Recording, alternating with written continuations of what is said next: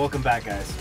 So what we're doing today, we are addressing the dreaded active distance assist, active cruise control in off, warning that you get on the dash, active brake assist in off. Essentially what happened with this customer, we put a bumper on his van, we a, a backwood scout bumper, we relocated the sensor into the bumper like you normally would.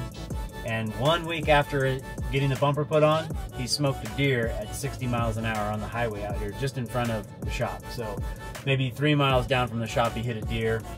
And thankfully, the bumper did exactly what it was supposed to do. It protected the van entirely. But the little sensor housing that holds the radar sensor that runs all of these systems was damaged. So this housing was broken, and with that broken, the sensor is no longer held at the correct angle.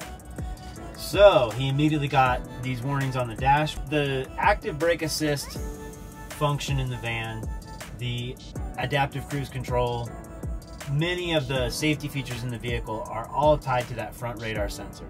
Now, just because you get that particular warning on the dash doesn't mean it's a sensor. It could be a multitude of other things. It's a very complex system with a lot of wires, a lot of sensors, a lot of uh, different modules connected to it. But the most common cause of that error that you see on the dash and then your cruise control subsequently not working is due to a misalignment of that front sensor. Either it got bumped and the sensor moved and then it's out of alignment and will no longer read properly or something else happened a wheel speed sensor became disconnected a wire got pinched uh, something along those lines that causes the system to be unhappy. But it's not a big deal. We do these recalibrations several times a week and it's a really simple procedure assuming you have the proper Mercedes software which we do. We have Xentry capabilities here so we'll go through and do the actual Mercedes procedure to recalibrate that sensor once we've put it into the proper location. So first step on this particular vehicle was remove the damaged housing, replace it with a new housing, set the sensor angle to the appropriate angle. Then we go into the computer here and we clear all of the codes, check the current sensor angle, and then start a calibration drive. So the, the procedure is essentially to go, go through those steps and then go out on a calibration drive and teach in that, that sensor into the system. So we'll follow other vehicles. We'll stay around 150 to 250 feet behind other vehicles in traffic. Doesn't need to be fast. It's a relatively slow speed. So we'll go down the highway here. We'll drive into town.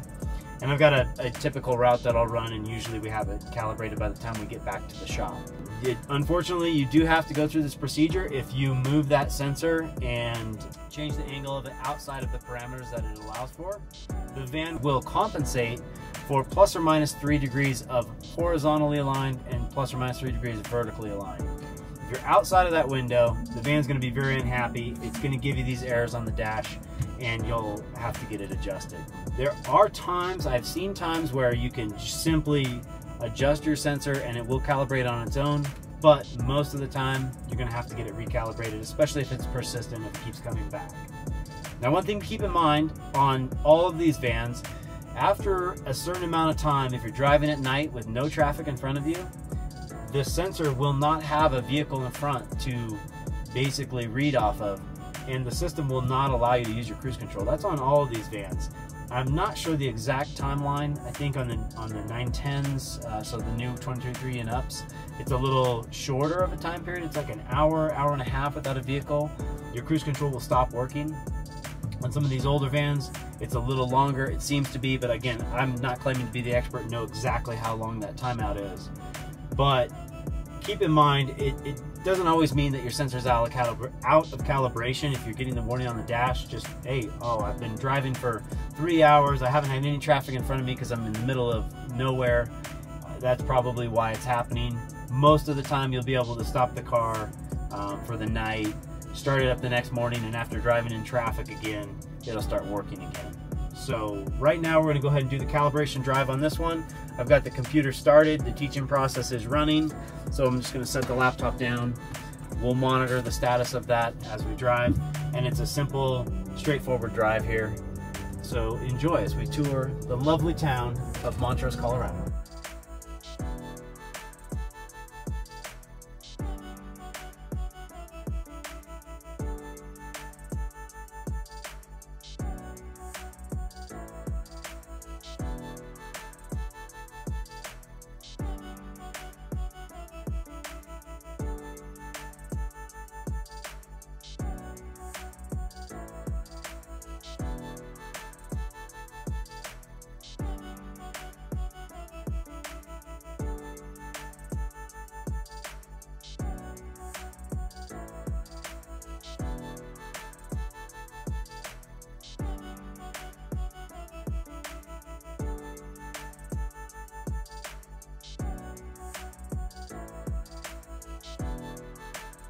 All right, simple as that. The calibration drive is over. We get a successfully ended readout on the computer. So the next step is to simply cycle the ignition, scan and clear all the codes, and then you're good to go. Um, after that, you'll be able to engage your cruise control and drive the vehicle like normal. Very straightforward procedure, assuming you have the proper equipment. Um, it's nothing to be concerned about if you get the error on the dash. It does happen a lot. It's a very, very sensitive system, and it can be very frustrating when your cruise control doesn't work. I get it. But again, it's something we see all the time. It's not inherent just to Mercedes. It's inherent to every vehicle on the road these days has a system similar to this. Mercedes just happens to be a little harder to fix compared, a little harder to fix compared to uh, some of the other vehicles on the road because it requires particular software. But no worries, we can get you back on the road. Again, if you if you see an error on the dash and you're not sure if it's from a lack of traffic or from maybe a, misalignment, give us a call. We can kind of talk you through it, bring it in, we'll scan it and figure out what's going on and get you back on the road and, and operational in no time.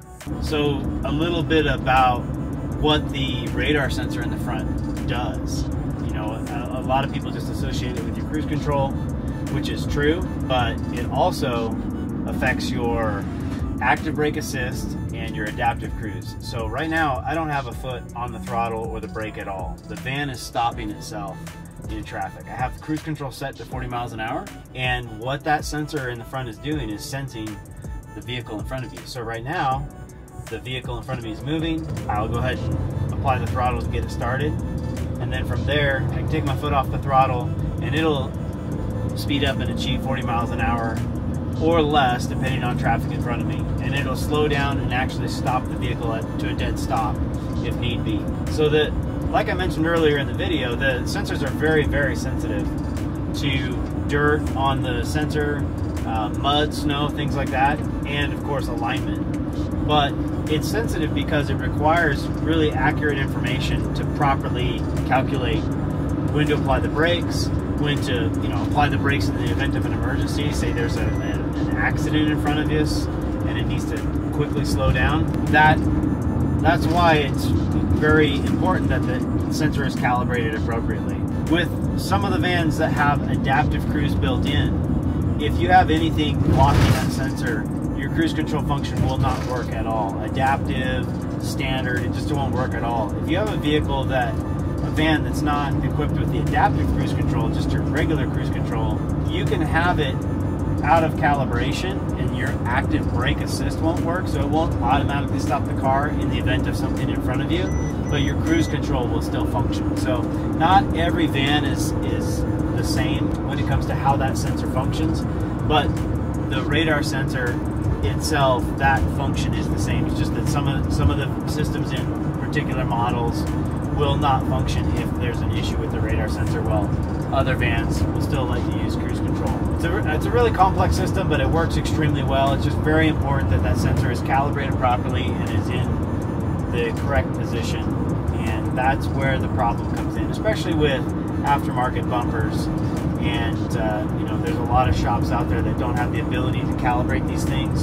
So it can be a bit of a guess as to where that sensor needs to be sitting and uh, that's where it's really really beneficial to come to a shop that has all of the capabilities and the knowledge to be able to properly set these things. One other thing to, that I want to touch on with regards to your cruise control and this sensor is tire size.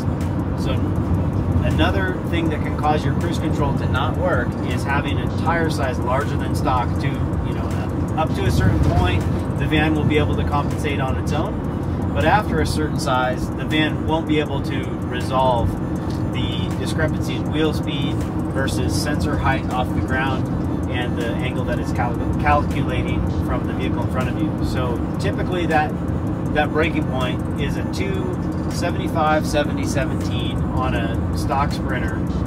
If you run that tire size, everything's going to work fine. Your speedometer will be off, which we can fix check the link in the video in the description below. Yeah, we have a module for that. But your cruise control will still function, everything will still work properly.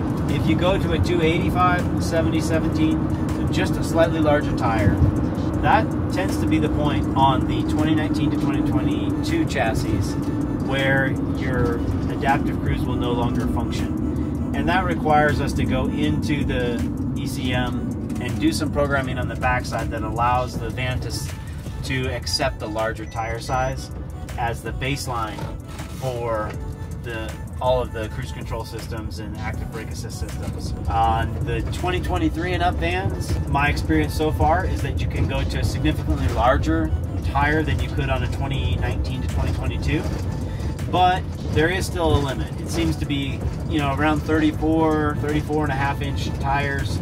At that point, it doesn't like the tire size and it'll start giving you errors on the on the dash when it comes to your radar sensor. But by and large, 275 7017 will work just fine on most of these vans and you won't have an issue with it. I think this guy's drunk, parked in the wrong spot. So all this to say, the system is very complex. There are a lot of different factors that can affect that warning on the dash and interact with your cruise control. So don't necessarily, you know, jump to conclusions. Folks get on the forums on Facebook and um, Instagram, you know, wh wherever you get on the for people get on the forums on Facebook all the time, and there's all kinds of misinformation out there about what's causing this issue. And uh, the, you know, I've seen some crazy, crazy shit out there about disconnect the battery ground four times in a row and then start the van and open and close the door 17 times and I don't know, all kinds of different stuff out there. None of that's to work. Just come, get it calibrated properly, and you'll be good to go. Thanks for watching.